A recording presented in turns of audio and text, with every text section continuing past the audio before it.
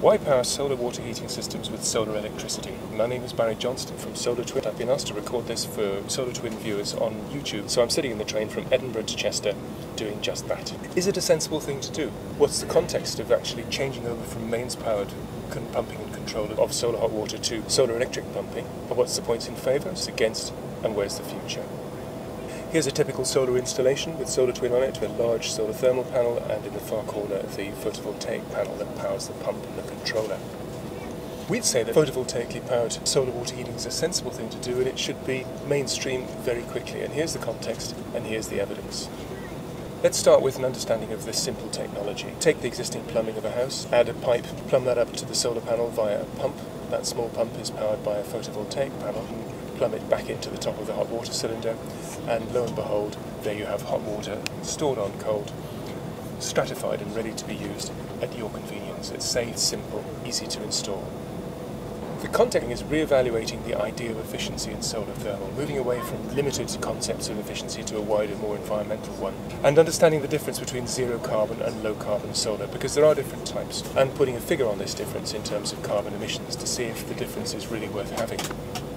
There are various different narrow perspectives on efficiency. If you can buy the smallest or cheapest solar heating system, you can try and get as much efficiency per square metre out of your solar panel, even though the roof area might be limiting, and that can often lead you to require fat pipes, big pumps, lots of heat exchangers, and that sort of thing. Some people buy the hottest panels, they go up to 200 Celsius, um, not very comfortable to bath in. Some people will specify dedicated solar volumes, which for months at a time in winter may not be heated by backup heating, so they may have a Legionella problem. Our view is to look wider, to try to flatten the annual performance of a solar panel so that you minimise your backup, particularly in winter, because what you want to do is to maximise the solar fraction. The portion of your energy bill that solar will displace, you end up barking up the wrong tree if you're not careful. So we're trying to minimise your bills and also trying to maximise the response to hot water demand. With Solar Twin, if we have the choice on a new build, we'll often put it on a south-facing wall because that will give you a bit of extra winter gain at the expense of a summer excess quite often. But also we want to look at environmental cost benefits, long life, low environmental impact, and not have an operational carbon clawback. And it's this issue which is going to be partially the subject today to actually look at why conventional solar really damages its break-even on carbon by being plugged into the mains. We're going to be looking as far as we can at whole-of-life carbon budgets. In order to do this, you need to start stepping back and then looking at the concept of life cycle analysis. And there are ways in which you can break down the carbon emissions of a business. You can waste energy or you can save it. When you make them, you can do the same thing, transporting similarly, installing, particularly using and servicing, and then, of disposing of them. To run that sort of business, you want to minimize travel. That's what we do at Solar Twin. We sell our solar panels by phone rather than by driving around. We make lightweight products, travel as little as possible, install in one trip, design them with as little carbon operation in their lives as possible, long service intervals so people aren't driving around emitting carbon to sort things out, and then to reuse or recycle at the end of their life are figures available. We've got them for the two major areas for making them and using them. Solar Twin carbon payback is under two years according to Bath University's independent study on solar twin photovoltaics and micro wind. For photovoltaics the time is about seven years to payback and for micro wind it varies enormously depending on where you site your turbine. In terms of using them, mains solar, solar heating, which is um, what we're displacing, typically has a 20% carbon clawback if it's set against the mains gas as a fuel. Two separate independent studies validate this. The major report on this was from eight solar heating systems in UK, where the carbon clawback of flat plates averaged 17%. Flat plates are a type of solar heating panel. Evacuated tubes, the supposedly sexier type, averaged 23%. Solar Twin had naught because it had a PV pump. For conventional solar, you can move forward 10 steps and slide back 2, but for Solar Twin, for the same 10 that you move forward, you don't slide back in proportion. Graphically illustrated like this. Slide back. Slide back slide back, stay there. So it's significantly more sustainable to have 100% solar pumping. But is it really important in terms of carbon break-even? If you look at over 25 years of life in terms of manufacture and operation, low-carbon solar, conventional solar panels which are plugged into the mains, typically take seven years or so or more to break even in terms of carbon. So it's only seven years after installing them that you can start getting into carbon credit. For zero-carbon solar, less than two years is the figure. Which would you choose? To look at the contexts, do they support photovoltaic pumping? Carbon's a new currency, And our view is it does. If you're trying to deliver zero carbon homes, which is the mission of several governments in Europe, it's going to be very hard to do if your solar thermal system is emitting carbon at a power station and back up the line.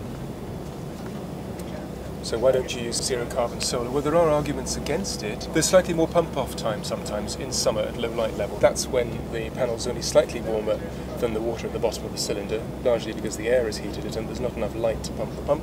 Does it matter? Not a lot, because in winter the pump will always be on if there's any heat to be had. There's the other one, which is use antifreeze, not water. Or that's the argument. Most solar panels contain antifreeze because they're metal, and metal would crack if it was full of water. But antifreeze is six times more sticky than water, and if you're trying to pump stuff, you need to have a stronger pump if it's sticky. So solar electric pumping is much cheaper to do if you pump water rather than sticky antifreeze. If you are pumping water, you need to make sure that your panels can cope with that, or the way you drain down your system when it's freezing. And you've got to make sure in some circumstances that you control the water hardness properly, which is easy to do.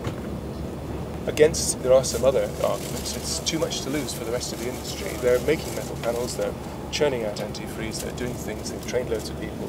We don't want to turn around. And in particular, the UK Solar Trade Association appears to be boycotting our technology. They've banned all their members from fitting it, and they've taken a training program which was funded by the state worth £86,000 and wrote it with the effect of excluding our technology. We've had a, an uphill struggle trying to get parts of it included, and in the meantime, we're getting all our installers ourselves, which unfortunately puts the cost up. There's also a delay in the recognition of the benefits of zero carbon solar. You'd think grant schemes would really be incentivising zero carbon solar over low carbon, but they're not. There are all sorts of brakes on progress taking place, not just at a national level in the UK, but also at a European level. It's sad, but it's what happens in a gold rush.